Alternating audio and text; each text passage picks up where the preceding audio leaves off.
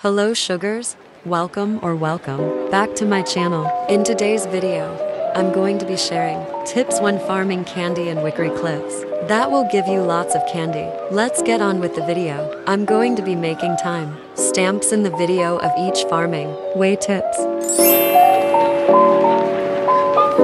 In my opinion, I think apple bobbing was really helpful since, if you are busy, doing schoolwork, or anything, apple bobbing was the best to farm candies if you are busy or doing schoolwork, etc. But after the Royal Royalloween update came out, Barbie limited apple bobbing, which you can only apple bob 10 times, due to people using auto clicker, which is pretty annoying. There was a hack you can use, but Barbie fixed it. So the only tip for apple bobbing is, I like to use it when I just want extra candy without doing much, or when I'm lazy. My first tip is to take off all of your accessories, skirts, heels, because it will be easier, so you won't kick the candies. This part is optional, but when trick-or-treating, you can knock on various doors in a row so you can collect your candies faster. If you're on PC, instead of clicking the button, click on E it's faster to ring the doorbell that way. And then you can collect your candies after knocking on the doors.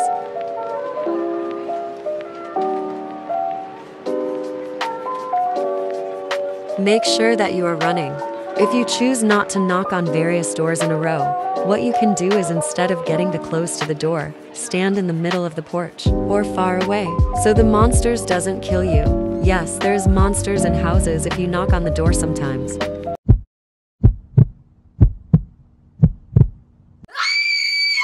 If the monster is there, run in circles quickly or else you will die.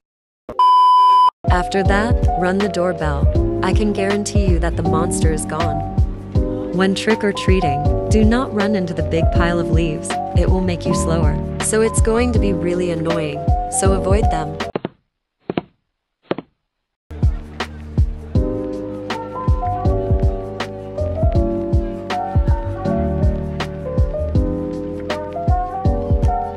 By the way, what's your guys' favorite candies? One of my favorite candies is Smarties, because they make me smarter. Also, make sure you not leave any candy behind. Every candy matters, guys.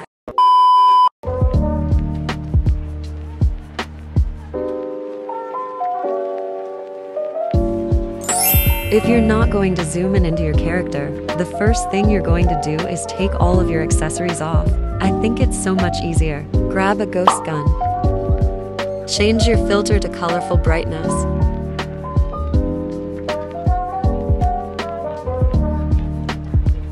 Grab a headlamp. A lot of people say you should not wear the night vision goggles. I don't know which is the best, but a lot of people say it's better without it so if you want, you don't have to wear them. When ghost shooting, if you see a medium or a huge size ghost, shoot the ghosts. Shooting the ghosts will give you lots of candies. Here is the ghost values someone made. These are all of the ghosts and the candies you will get if you shoot them. It'll read the tips to you guys. If you want, you can shoot in first person. I like to do that a lot. Since for me, it's easier to shoot the ghosts. The next tip is play with your friends. It's faster. Playing with friends helps so much, which I'll explain why soon. And you should always remember to empty and refill your ammo and vacuum. Remember, have fun. The reason why playing in a private server with friends is so much better is because when you play in a public server, when you capture a huge ghost with tons of people capturing the big ghost as well, it will divide the candies, so you will get less candies. I recommend having at least 3 to 5 friends is the best because the less people, the more candy you will get. But if you're playing alone, you won't make it in time when capturing ghosts. So make sure you play with at least 3 to 5 friends. Another tip is, if you see any of your friends trying to capture a ghost, join in with them. You both will get some candy. You will also get some candy for teamwork. I'm pretty sure. Make sure you always keep track on your ammo and vacuum. Make sure you are running as well, because you're going to be faster. If you ran out of ammo, go back to where you spawned into the game. If you are on PC, click on E so it will be faster. To get rid all of your vacuum, go here. If you choose not to go on first player, make sure to get rid on your roleplay name, so your name won't be in the way when shooting ghosts.